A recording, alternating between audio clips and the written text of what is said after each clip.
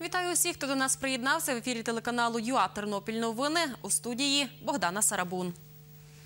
Станом на 13 годину в Україні опрацьовано 99,93% бюлетенів. Проголосували 18 мільйонів 884 тисячі 972 виборці. Рейтинг кандидатів в Україні залишається незмінним. Понад 30% у Володимира Зеленського, Петро Порошенко набрав майже 16%, Юлія Тимошенко понад 13%, у Юрія Бойка майже 12% та в Анатолія Гриценка майже 7%, повідомив прес-секретар Центральної виборчої комісії Костянтин Хівренко. На Тернопільщині у всіх п'яти виборчих округах опрацювали 100% протоколів. Вчора близько 17-ї години завершили підрахунок у 164-му окрузі. Там проголосували 108 тисяч 759 осіб. В окрузі на першому місці Петро Порошенко, друга Юлія Тимошенко, третій Володимир Зеленський. Врешті чотирьох окружних виборчих комісіях бюлетені підрахували 1 квітня, повідомив прес-секретар Центральної виборчої комісії Костянтин Хівренко. Проголосували 536 тисяч із 800 13 тисяч виборців. Лідирує по п'яти територіальних округах області Петро Порошенко. За нього проголосували понад 24% виборців. Судове засідання у справі про вбивство таксистки Євгенії Курдупель сьогодні перенесли на 17 квітня на 16 годину. На суд не прийшли захисники підозрюваних Петра Лукача та Олександра Дегтяра. У Тернопільському міськрайонному суді була наша кореспондентка Любов Гадомська. Більше про це дивіться о 17 годині. Попереднє судове засідання відбулося 5 березня у Тернопільському міськрайонному суді. Тоді суд продовжив термін тривання під вартою підозрюваних у вбивстві Євгенії Кордупель, Петра Лукача та Олександра Дягтяра до 4 травня цього року, повідомила адвокат матері загиблої Євгенії Кордупель Інна Радібова. Вбивство таксистки Євгенії Кордупель сталося 25 грудня 2015 року в Підволочиську. Підозрюваних у злочині 16-річного Олександра Дегтяря та 19-річного Петра Лукача затримали через 4 дні. У липні 2016 року справу передали до суду. Її розглядали упродовж двох з половиною років. За цей час відбулося близько 30 засідань. Загиблих зайців і бурсуків знайшли мисливці в полі біля села Курники Тернопільського району. Про це новинам повідомив голова Тернопільського товариства мисливців і рибалок Григорій Каліновський.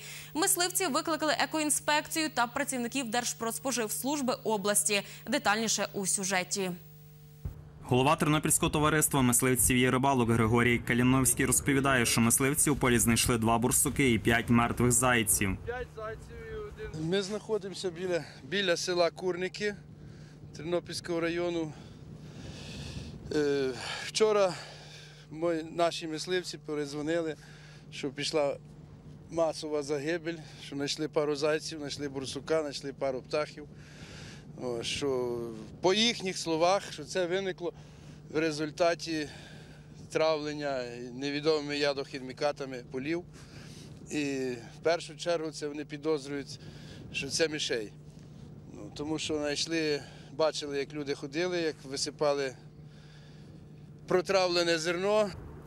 Головний спеціаліст управління Держпродспоживслужби в області Ігор Возняк каже, що в лабораторії встановлять причину загибелі тварин. Підозра є на отруєння, так як е, спеціаліст по говорив, що протравлювалося е, посівні площі даних господарств. Буде відвезено в лабораторію міста Тернопіль, в е, обласна лабораторія, і там проведуть дослідження. Григорій Каліновський викликав працівників екоінспекції. На полі між селами Корники і Стегниківці знайдено туші мертвих тварин. Будемо відбирати проби і визначати, від чого загинули дикі тварини. А потім встановимо і будемо про щось говорити далі. Зараз я більше нічого сказати не можу. Староста села Курники Тернопільського району Володимир Гунь повідомив, кому належать поля, де мисливці знаходять мертвих тварин. Тут, де знайшли е, ті загиблих тих тварин, знайшли в долині між землями, е, які- відносяться до села Станіковець і села Курники. Курницькі ці землі це е, фермерська земля, обробляє фермер Дзензель Юрій. І друге, там, де поле не оброблене, це є землі одноосібників. Богдан Боденчук, Андрій Бодак. Новини. Більше про це дивіться о 17 годині. Державна екологічна інспекція у Тернопільській області винесла припис відділу технагляду Тернопільської міськради. Його працівники мають ліквідувати природоохоронне порушення у парку Загребелля. Вчора під час спільного рейду екоінспекторів та муніципальної інспекції Тернопільської міськради у парку виявили десятки точкових місць самовільного збору березового соку. Відділ технагляду Тернопільської міськради є балансоутримувачем території парку Загребелля. На виконання припису виділено 5 днів, повідомив старший держінспектор з охорони навколишнього середовища Михайло Онищук.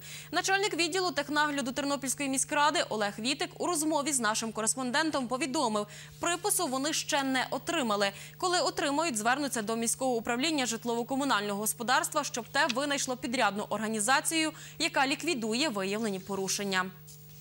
Василь Малик, новий тренер футбольного клубу Нива Тернопіль. Сьогодні керівництво клубу представило оновлений склад команди перед початком другої частини чемпіонату України з футболу серед команд другої ліги. Василь Малик розповів, за час зимового відпочинку до команди долучилося 12 нових гравців. Молодий талант. Однозначно, що будуть, будемо змінювати підходи, е, будемо змінювати е, філософію футболістів і відповідно будемо добирати футболістів, які будуть відповідати тим вимогам.